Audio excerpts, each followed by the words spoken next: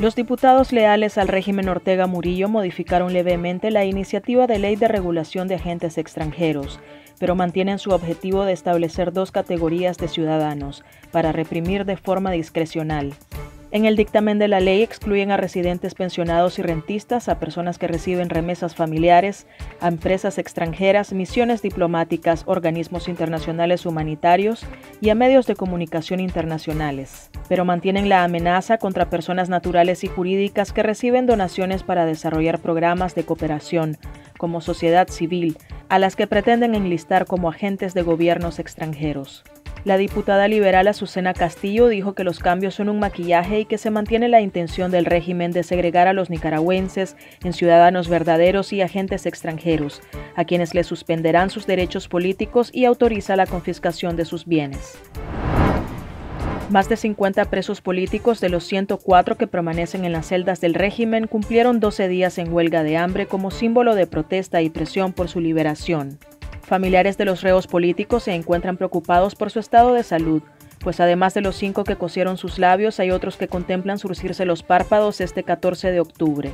Karen Lacayo, presidenta de la Asociación de Familiares de Presos Políticos y hermana del reo político conocido como La Loba, afirmó que a través de mensajes los reos políticos aseguran que no darán marcha atrás en su huelga de hambre y que las amenazas y torturas psicológicas persisten por parte de los custodios, quienes los amenazan para que terminen la huelga.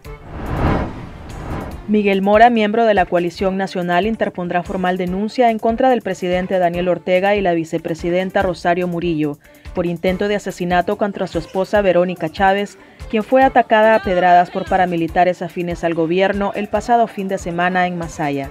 ¿Y a quién culpo yo, Houston?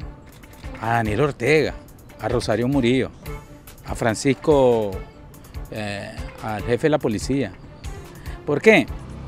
Porque ellos son los que orquestan todo eso, ellos, los que, ellos son los que ordenaron todo ese operativo, ese, esa emboscada criminal, porque atentaron contra la vida de mi esposa, esa pedrada, unos centímetros más, dice el médico neurocirujano, y ella, muerte, ella muere de, de, forma inmediata. Mora informó que Chávez está fuera de peligro, el sangrado interno provocado por la pedrada cesó y permanece sedada con fuertes analgésicos.